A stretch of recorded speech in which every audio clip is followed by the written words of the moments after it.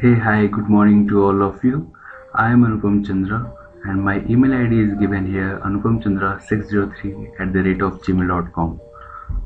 सो so, आज हम discuss करने वाले हैं I U C N red list species के बारे में जो कि रिसेंटली बहुत ज़्यादा न्यूज़ में थे तो सबसे पहले हम देखेंगे कश्मीरी स्टेक के बारे में जिसे हंगूल भी कहा जाता है तो सबसे पहले जाने कि इसका हैबिटेट क्या है? ये जम्मू एंड कश्मीर में पाया जाता है, दचंगम नेशनल पार्क के पास में। और आपको सबसे इम्पोर्टेंट चीज़ ये बता दूँ कि ये जम्मू एंड कश्मीर का स्टेट एनिमल भी है। देखो, दचिंगम नेशनल पार्क में ये बहुत ज़्यादा प्रोमिनेंटली पाया जाता है, लेकिन धीरे धीरे ये दचिंगम नेशनल पार्क जो है काफ़ी हद तक डिसइंटीग्रेट हो रहा है, ठीक है? और दचिंगम इसे क्यों बोला जाता है? क्योंकि ये दस विलेजेस से मिलके बना हुआ है। और ये खासकर जाबारवन रेंज जो कि वेस्टर्न हिमालय के साइड में है, वहाँ काफ़ी ज़्यादा प्रोमिनेंट है।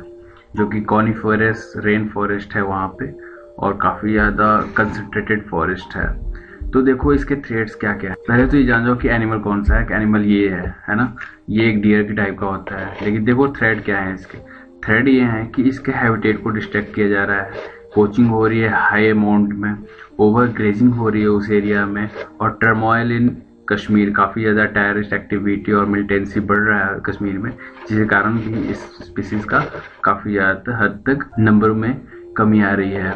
तो देखो, इसके लिए कंजर्वेशन एफर्ट्स भी कुछ कुछ किए गए हैं। जैसे कि 1972 जो वाइल्ड लाइफ एक्ट है, उसके थ्रू इसे प्रोटेक्शन में डाला गया है, जो कि शेड्यूल वन के अंदर आती है ये स्पीसीज और गवर्नमेंट ऑफ़ इंडिया ने प्रोजेक्ट हंगुल भी बनाया हुआ है, ताकि इसे प्रोटेक्ट किया जाए।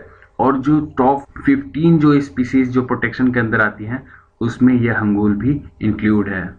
तो देखो ये दूसरा ब्लैक बग जो कि लीस्ट कंसर्न स्पीसीज के अंदर आता है। ब्लैक बग इसलिए न्यूज़ में था क्योंकि सलमान खान ने जो पोचिंग की थी, ये वही ब्लैक बग है है ना? तो ये देखो, ये जो है इंडिया में पाया जाता है नेपाल में पाया जाता है और पाकिस्तान के भी कुछ एरिया में पाया जाता है। और ये स्टेट एनिमल है, आंध्र प्रदेश का और हरियाणा का और पंजाब का। देखो, ये बहुत हद तक लोग जानते हैं कि ये केवल राजस्थान के एरिया में ही पाया जाता है, लेकिन ये साउथ इंडिया में ही बहुत ज़्यादा पाया जाता है। जैसे कि आंध्र प्रदेश, तमिलनाडु, ये साउदर्न स्टेट है। जैसे क्वेश्चन ये भी आ सकता है कि blackbuck mainly found in the northern India तो ये ऑप्शन बिल्कुल गलत हो जाएगा। तो देखो, इसके थ्रेड्स क्या क्या है? एक्सेसिव हंटिंग हंटिंग काफ़ी ज़्यादा होती है इसकी। डिफोरेस्टेशन डिफोरेस्टेशन के कारण इसके हैबिटेट लॉस हो जाता है। और देखो कंजर्वेशन एफर्ट भी कुछ किए गए हैं इसके लिए? ये भी वाइल्ड लाइफ प्रोटेक्शन एक्ट 1972 के अंदर आता है, जो कि शेड्यूल्ड वन का स्पीसीज है ये। थर्ड हम देखें ऑलिव रेडली टर्टल ये भी काफ़ी ज़्यादा न्यूज़ में था। और स्पेशली मैं आपको बता दूँ कि 2016 में सिविल सर्विसेज़ प्रीलिम्स में क्वेश्चन आया हुआ था ऑलिव रेडली टर्टल के बारे में। उस समय ये स्पीसीज जो था, ये इंडेंजर्ड कैटेगरी में आता था, लेकिन आज ये वलनरेबल में आ गया है। और इसके हैबिटेट के बारे में हम जाने तो ये वार्म ट्रॉपिकल वाटर में पाया जाता है Pacific Indian Ocean Atlantic Ocean में भी ये पाया जाता है बहुत हद तक। वार्म जो जो भी वार्म ट्रॉपिकल रीजन जो हैं उसमें, और इंडिया में खासकर उड़ीसा और आंध्र प्रदेश कोस्ट पे पाया जाता है। देखो ये जो बच्चे अंडे देते हैं ना ये ये विंटर में हमेशा देते हैं अंडे। तो देखो इसके थ्रेड्स के बारे में कुछ जानते हैं।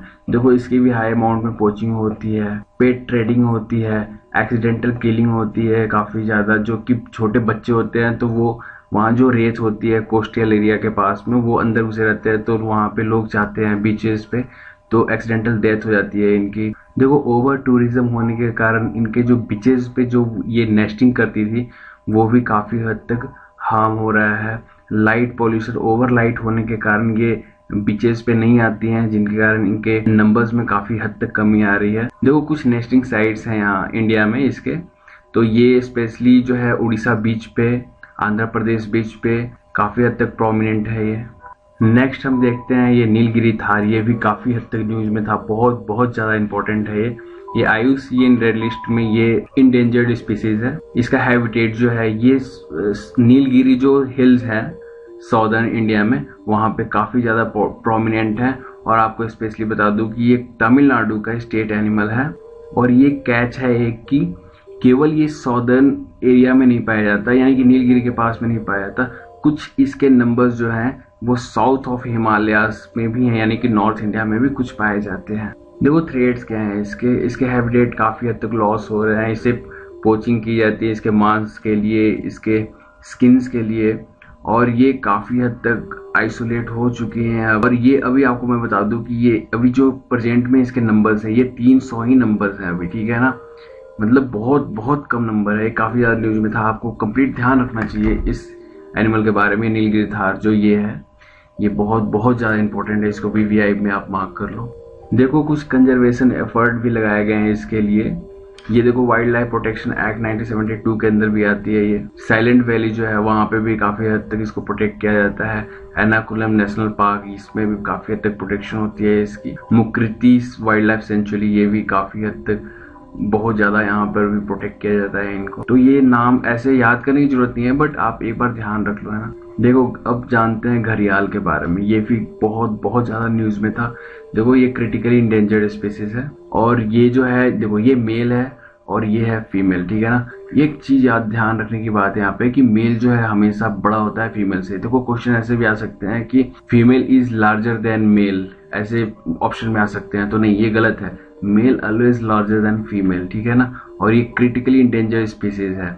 देखो, इनके हैबिटेट क्या है? ये देखो देखो, ये जो है ना सैंड बैंक्स में जो हमेशा ये नेस्टिंग करती हैं मतलब सैंड जो जहाँ पे सैंड ज़्यादा होता है रिवर के पास में, वहाँ पे नेस्टिंग करती हैं। देखो ये इरावडी रिवर्स के पास में या Ganga river Son river Ken river Chambal river और ऐसे महानदी रिवर, इन, ये रिवर राइन में ही रहती हैं, ये समुद्र में नहीं रहती, है ना? ये इंडिया के साथ साथ नेपाल में भी ये पाई जाती है बहुत हद तक। देखो थ्रेड्स क्या है इसके, देखो हंटिंग हो जा रही है इनकी फॉर स्किन के लिए, इनके कुछ मेडिसिन पर्पस के लिए भी इनका हंट किया जाता है एग्स के लिए भी हंट किया जाता है इनको।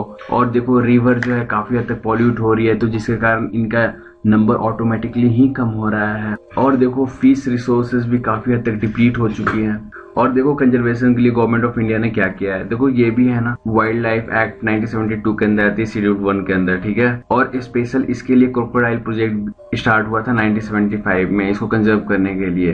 देखो प्रोटेक्टेड एरिया जो है ना, ये चंबल सेंचुरी और Katerniaghat wild life sanctuary है। तो नेक्स्ट हम डिस्कस करते हैं ग्रेट इंडियन बस्टर्स के बारे में। ये भी बहुत बहुत बहुत ज़्यादा न्यूज़ में था। आप इसको भी वीवीआई मार्क कर सकते हो। देखो, ये क्रिटिकली इंडेंजर्ड स्पीसीज है आईयूसीएन रेड लिस्ट के अकॉर्डिंगली और ये हैवीएस्ट फ्लाइंग बर्ड है। और आपको मैं बता दूँ कि ये स्टेट एनिमल ऑफ़ राजस्थान है। देखो, इसके हैबिटेट क्या क्या है। देखो, ये सेमी एरिड ग्रासलैंड में पाई जाती हैं, जो शॉर्ट सर्व्स होते हैं, यानी कि जिनकी हाइट बहुत ज़्यादा नहीं होती है, नहीं छोटी छोटी हाइट होती है, उनमें काफ़ी ज़्यादा प्रोमिनेंट तरीके से पाए जाते हैं। ये इंडिया के साथ साथ पाकिस्तान वाले साइड में भी काफ़ी हद तक पाई जाती है। ये मोस्टली देखो, पंजाब, हरियाणा, उत्तर प्रदेश, मध्य प्रदेश, छत्तीसगढ़, उड़ीसा, आंध्र प्रदेश, राजस्थान, गुजरात, महाराष्ट्र, कर्नाटका, तमिलनाडु, ऐसे जगहों में ये बहुत ज़्यादा पाई जाती है। यानी साउथ इंडिया में भी ये पाई जाती है। ऐसा ना सोचना कि ये राजस्थान का स्टेट एनिमल स्टेट बर्ड है तो केवल राजस्थान में पाई जाती है, साउथ इंडिया में पाई जाती है। ये सब कैच है ना?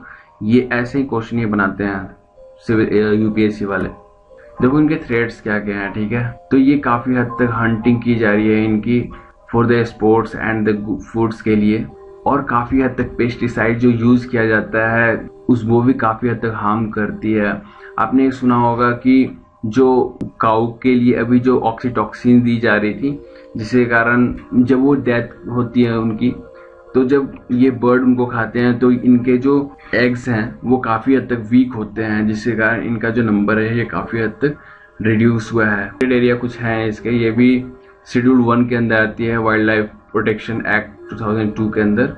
और स्पेशली प्रोजेक्ट स्टार्ट किया गया था ग्रेट इंडियन बस्टर्ड के नाम से स्टेट ऑफ़ राजस्थान में।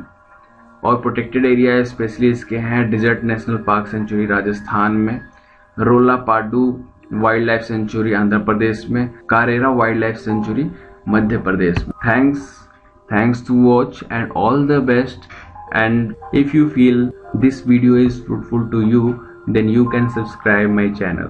Thank you, thanks so much.